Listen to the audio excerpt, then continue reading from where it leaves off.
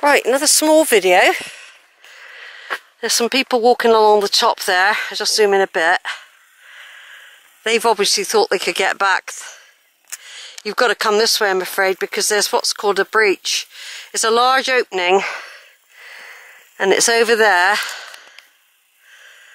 And there's probably quite a fierce, wide, dangerous stretch of muddy marshland there and you've advised, strongly advised, not to cross it. And there's two lots of people on either side now. Now, I didn't get that far, I wasn't that curious. But I did see a couple that were going that way. They got that point and turned back. Um, I half expect them to come this way in a minute. But look at that, Bossington Hill. Now, that's where that USA plane hit the side of that hill and crashed in the marshland just just over there a little bit where there's um, a memorial to the to the USA airman who died after hitting that hill and then landing here. I've got a good five hours. I might have to come back this bit just to join the track going back into Porlock because there's no way I'm walking a road or going through um, cow fields. I was watching this program the other night. You know, I'm always going on about being chased by cows and how I never used to be scared until I was chased, much later in life. I'm talking about when I was in my 60s, I was chased. Up until then, I was always wary of them, but I wasn't scared like I, I am now, really. I don't mind admitting it. But uh, I was watching this program or listening to something. It could have been on the radio. I listened to Radio 4 quite a lot. And um, they were talking about Goering, I think his name was, um, in the Second World War. Leading up to that, leading up to that war, they were into their getting their cows bred in a certain way, and they were into their um, you know, the the um, the race stuff. Um, anyway, you know, the specially selected race that they were going on about. Anyway, apparently they say that the Germanic tribes used to have wild cows and they wanted to create a situation where they could breed these cows going back to those early Anglo-Saxon times.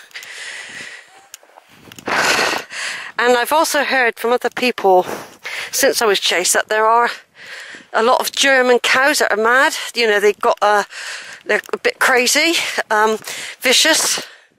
So it could be that some have got some of the genes because they've bred these old type of cows with these um, aggressive tendencies for hunting. The Germans wanted them to be aggressive on purpose so they could hunt them properly. That they didn't want them domesticated and all that.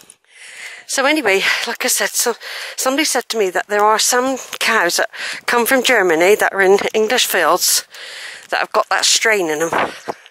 Just a bit of useless information, everyone. I am now walking towards Porlock Weir. I'm having a lovely time. It's very relaxing. Um, I've got my little camper set up. So I, I don't know if they're going to be noisy, the people next to me, you can't tell, especially when they come in groups. You know, when they, if you've got five or six caravan loads and they all know each other, um, you know, you, you can feel a bit isolating when you don't really want to. Uh, and, but I've got a nice little pitch at the moment. we just see how it goes. I got me telly. He said it is, there's good uh, reception. Um, I got telly. Um, I got the laptop too, so I can see my photos at least. I brought the laptop. Um, and I might be able to store some on it. But it's a bit dodgy, that laptop, so I'll have to be careful. And I think I'll only do that. Or I might put, buy another memory stick. I've still got five memory cards. Most of them are 16 gigabytes, but there's 132. Um, I'm using the old camera today It could go in a minute. When I go out, I do longer videos now. I can use two memory cards in one day without any trouble whatsoever. Anyway, let's look back. Those people caught me up yet? I expect they were annoyed they couldn't get through. I remember that happened to me over at uh, Steart Marshes. No one, it was, it never said that you couldn't get across or anything. Not really. So I, I um, had to go back another day because I was worn out by the time I'd walked along to the breach and found that you just can't get across. But I wanted to get this done today because my mission tomorrow is to get up very early. I mean, this evening I've got to find the bus stop and work out how long it takes me to get the bus stop back to the camp or from the camp to the bus stop. Because I'm going to get the bus to Minehead which only takes half an hour. I'm getting it half past six in the morning. It's not supposed to be such a brilliant day tomorrow though. That's the only thing but the rest of the week is supposed to be bright sunshine. Well, I've booked myself in for four nights. So that's Monday, Tuesday, Wednesday, Monday night, Tuesday night, Wednesday night, Thursday night. It actually gives me five days over this way, although I will be going back Friday night. But I've got like five days of exploring to do. I never waste any time when I get to a campsite either. I have a look round, find out where everything is, top up with fluids, get the picnic ready. I didn't want to waste today either because I could have come anytime I wanted. But I thought, no, get over there. Get your pitch rather than be stuck in the middle of somewhere. I've got mine in a nice little place, nicely sheltered.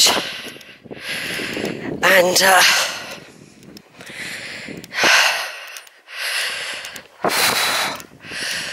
oh, so that's good, isn't it? Over and out for now, everyone. Can't see those people, but they were young and they could easily come this way. I don't know if they will. Over and out.